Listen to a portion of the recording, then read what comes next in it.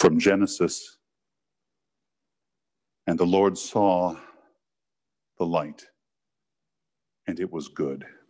In the name of the Father, and of the Son, and of the Holy Ghost. Amen.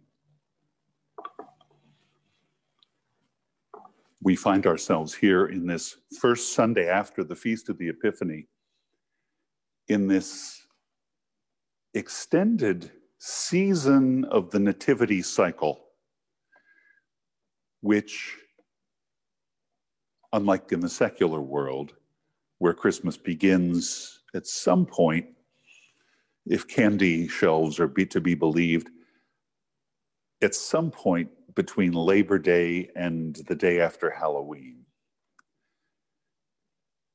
In our world, in the world of faith, in the world of faith, what has happened? What's happened? What's happened?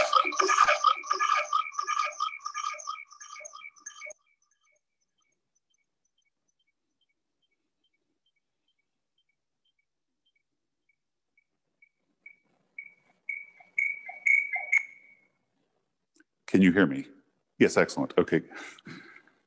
Pardon me. In our world, in the world of faith, this nativity cycle begins on Christmas Eve and extends to the feast of the presentation on the 2nd of February. And the greatest feast in the midst of this, which the Orthodox hold as the celebration of Christmas, is the Epiphany. It's only since the 19th century and Charles Dickens, Queen Victoria, and Prince Albert, Coca Cola, and Clement Clarke Moore did a lot to make Christmas what it is today. The Feast of the Epiphany, the 12th night after Christmas Day, was the feast. It was the feast when light sprang into the world, manifested by the star over the manger, the visit of the wise men from the east, not from the chosen people of God, not from the people of Israel, but from far flung lands who followed the light to the light the one who would be the light of the world. For the Lord saw the light and saw that it was good. This first Sunday after the Epiphany is often referred to as the feast of the baptism of our Lord,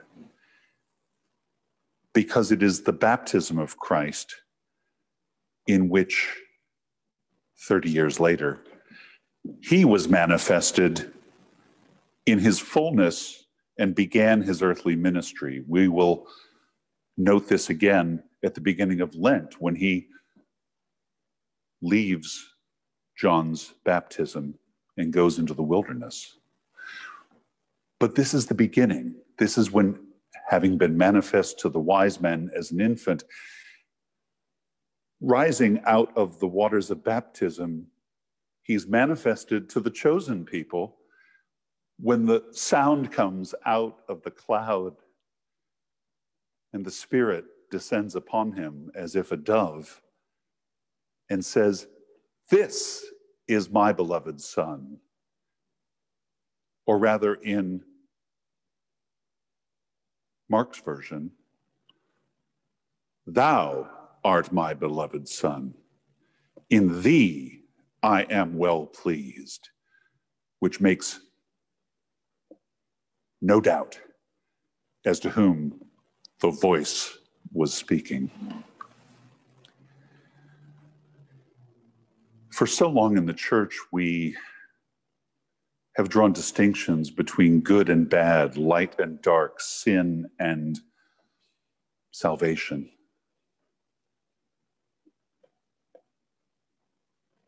God doesn't make these distinctions. We do. God doesn't damn us. We do.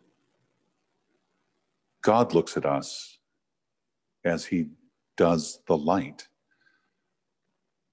and sees beauty and brightness and innocence and joy. And says, as he did in Genesis at the creation of the world on the very first day, this is good. But what do we reflect back to him? That's our part in it. What do we reflect back to him?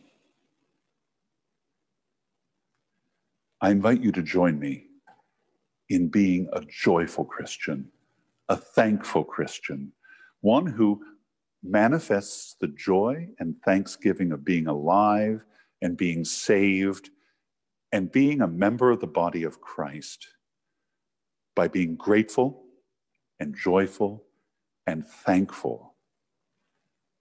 This season of the Epiphany, in which anew the child has been manifested unto us, and view your fellow men and women not in the way that sometimes you view yourself, but in the way that God views you, in the way that He viewed that first light. And it was good.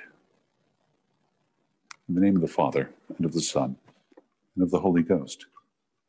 Amen.